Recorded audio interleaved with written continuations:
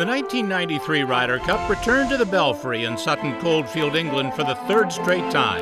Tom Watson getting his first chance to captain the Americans, Bernard Gallacher returning as the European captain. A chilly, misty first morning of foursomes. Mark James approached to the fifth.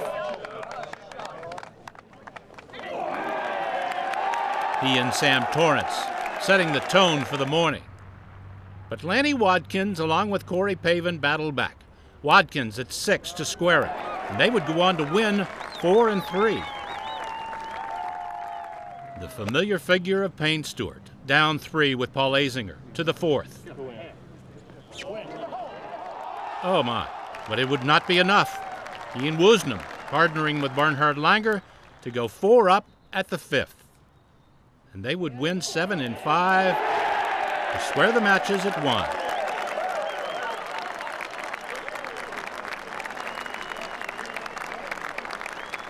Tom Kite now to the second. Think he knows this might be a good shot?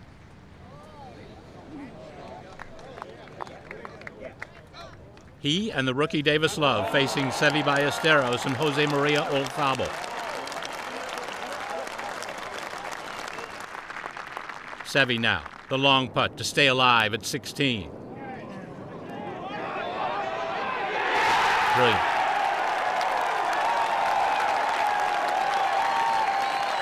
But his fortunes would run out one hole later he and Olazabal would lose only their second match in 13 cup pairings together over the years.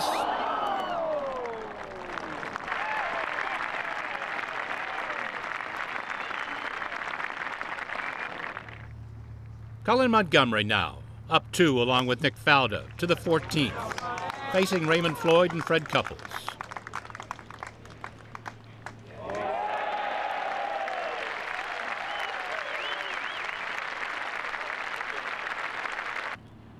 Faldo now with the birdie putt at 14 to go, three up.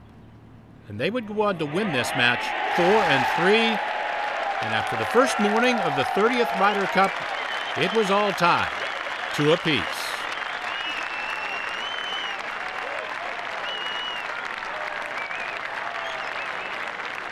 Four ball play was the order of Friday afternoon at the Belfry in 1993.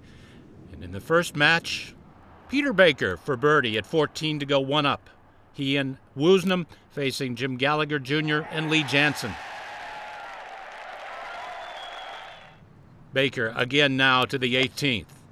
This would wind up being this young man's only Ryder Cup appearance, but he would win all three of his four matches.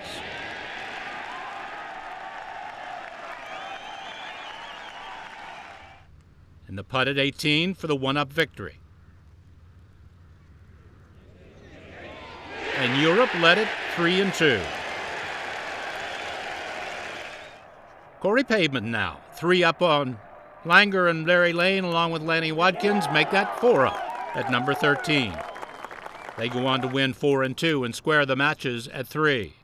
Nick Faldo at 13 to square his match with Montgomerie against Azinger in Couples.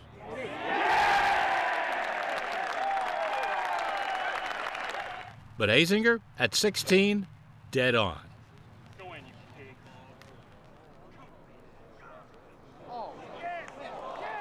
And they would go on to beat Faldo and Monty, one up. Seve and Olazabal again for the 14th straight session over the years. Seve driving the short par 4 10th hole, facing Kite and Love.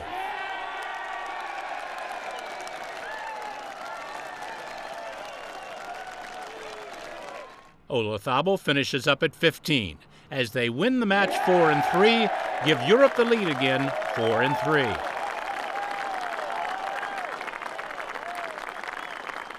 Faldo now one down to the 17th to go all square. And it would stay that way because, as gloomy as it looked on that shot, it would get worse. Fog halted play. The match finishes all square, and Europe takes a one point lead to bed after day one.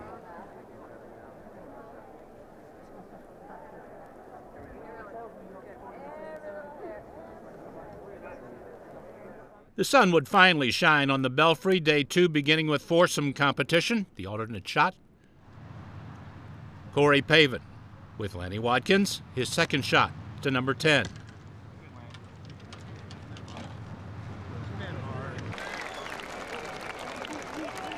The match goes all square with Montgomerie and Faldo. Faldo now from just off the green at 14, and with that, he and Montgomerie go on to win it 3 and 2.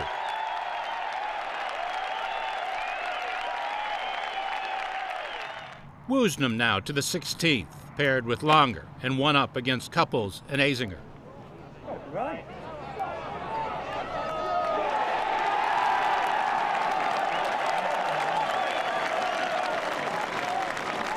As good as that shot was, Couples would match it.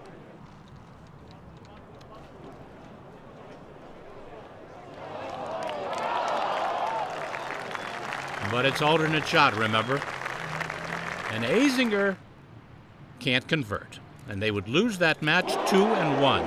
The European lead now six and a half to three and a half.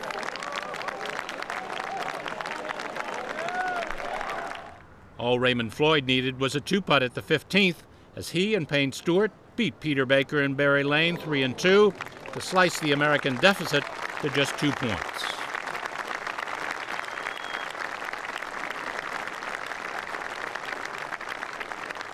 Davis Love now for par to cut his and Tom Kite's deficit to just one against Seve and Olazabal.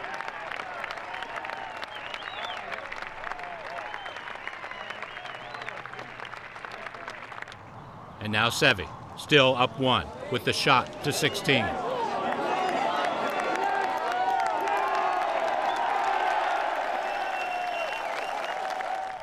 Olazabal had the putt to go two up. The Spaniards would go on to win it 2 and 1, and the Europeans would take a three point advantage going to the Saturday lunch break.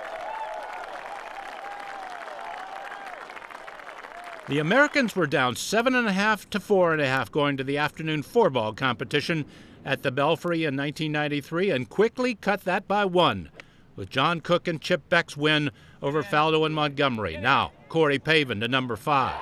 Watch closely because it did, disappeared in a hurry.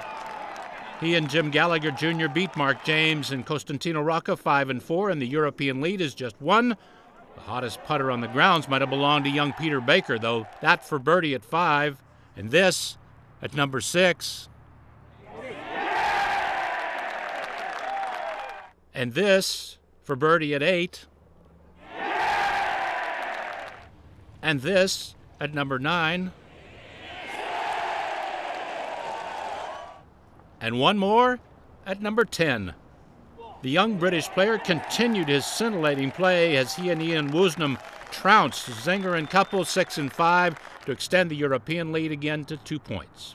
Payne Stewart now, the long birdie putt at 15. He and the oldest competitor in Ryder Cup history, 51 year old Ray Floyd, facing a new team, Olazabal this time with Joakim Haeggman. Stewart and Floyd win it 2 and 1. And the European lead is just eight and a half to seven and a half after the second day at the Belfry. Day three at the 30th Ryder Cup at the Belfry, singles competition, and a half point right out of the box for both teams. Sam Torrance had to withdraw due to injury early. Peter Baker continued his brilliant putting clinic, this at 18, to clinch a two up victory over Corey Pavin.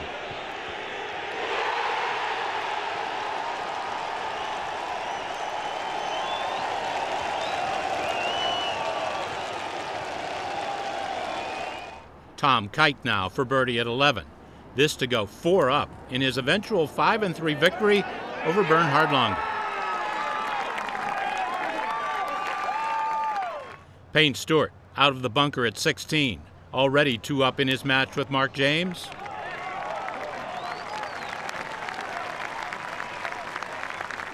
He makes the short putt to close out the future European captain, 3 and 2. Europe's lead is now 11 and a half to 10 and a half. Raymond Floyd to the par 3 14th. Quick, take the stick out. Take the stick out. Would have been an ace, but a birdie puts him one up over Olazabal. Well, maybe you don't have to take the stick out. This is Nick Faldo, same hole, same club. a little bit better results. As he goes one up over Paul Azinger. Langer must make to continue his match with Tom Kite. Kite wins it 5 and 3. Matches are now tied at 12 and a half.